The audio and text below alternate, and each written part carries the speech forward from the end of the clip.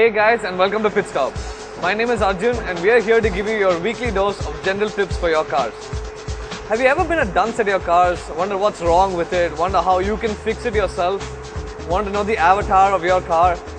Well here we are to give you a few self-diagnosis tips on how you can fix general issues maintaining your car.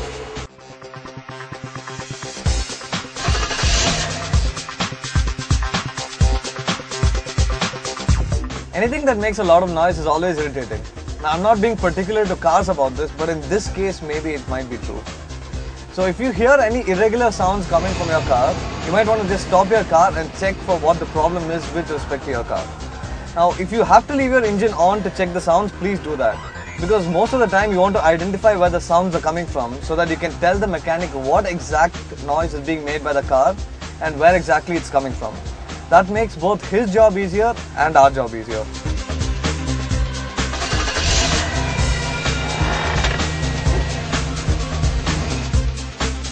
Second simple thing that you can do to self-diagnose is to always check under the hood of the car for different smells. Now don't get overexcited and think I'm gonna go sniff my car and then go because you'd most likely end up fainting.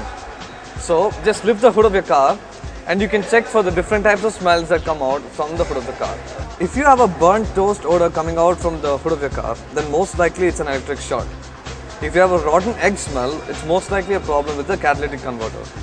The catalytic converter is a device that helps to remove all the harmful emissions, which means that you would be polluting the environment more if this was actually damaged.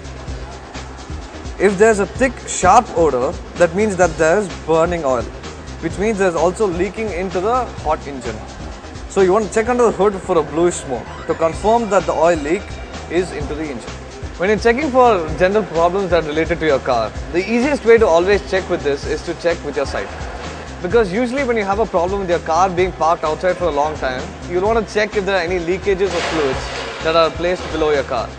For example, if you have a yellowish green, blue or orange fluid that's located below your car, it's a sign of an antifreeze leak. Maybe leaky radiators or water pumps may exist in your car. Now if you have a black or brown oily fluid, it's most likely the engine oil, which is leaked because of a bad gasket or a bad seal. If you have a red oil fluid, this means that there's transmission or power steering fluid leak.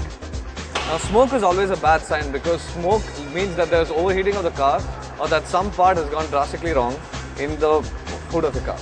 So that was us here on Pit Stop giving you the general maintenance tips that we could for this week. So tune in again when we can help you and keep your car more alive.